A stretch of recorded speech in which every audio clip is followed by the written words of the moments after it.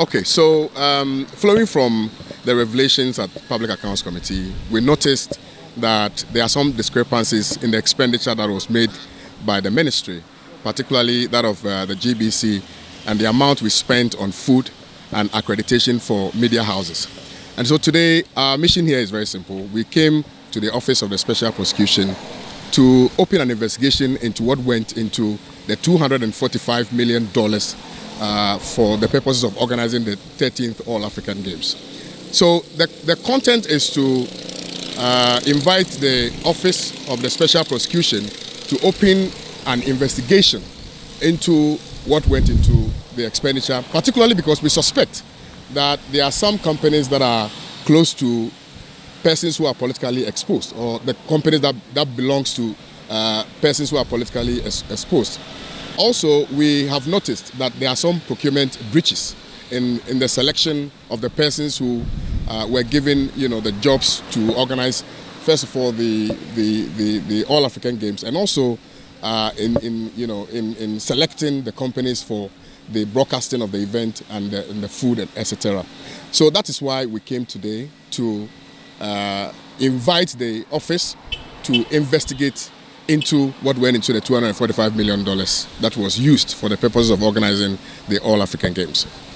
Clearly, your demands are quite a number. How long do you expect the SP to do what you're asking of it? I think um, that every Ghanaian citizen is interested in accountability.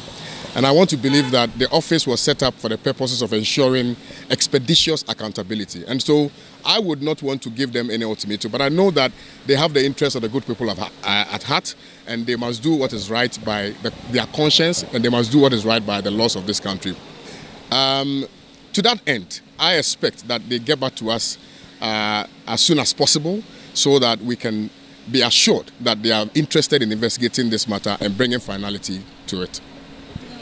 The trust level that you have um, in, the OSP to, to be able to deliver uh, a proper, I am very confident in the Office of the Special Prosecution. I think that we have a plethora of examples to cite about the competencies of the Office of the Special Prosecution and also the commitment and the patriotism demonstrated by the uh, Special Prosecutor himself, Kwesi Agyebeng. Um, because we do know that the Special Prosecutor was appointed by this government but has been very instrumental in investigating matters of corruption in this particular administration. To this end, I'm very confident, highly so, that the Office of the Special Prosecution will discharge its lawful obligation to the good people of Ghana by investigating this matter and bringing accountability to the doorsteps of the Ghanaian people. So I think the Office of the Special Prosecution was set up for specific reasons. Uh, some of these reasons include acts of corruption, and matters relative to procurement breaches, etc., which will or which may invariably lead to acts of corruption. And, and I think that you know the the state decided to set this up because of the expeditious nature with which we think they will be able to discharge that duty.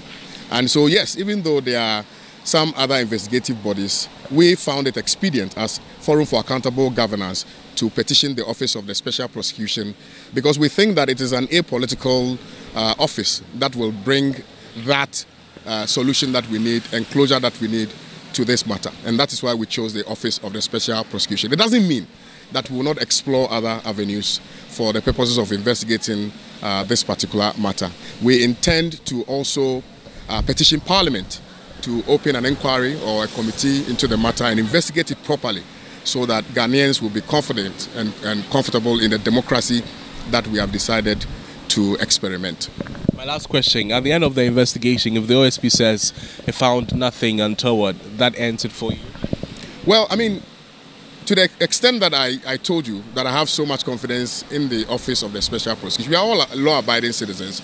Um, and so if investigations are conducted and properly so done, and the outcome is that there are no corruption uh, related matters inherent in the organization of the All African Games, I think the matter would have been uh, brought to bed. And so I would not uh, further query or ask questions about it. At least my conscience would be satisfied that I've done the law's duty for uh, the good people of this country. So I think the Office of the Special Prosecution was set up for specific reasons.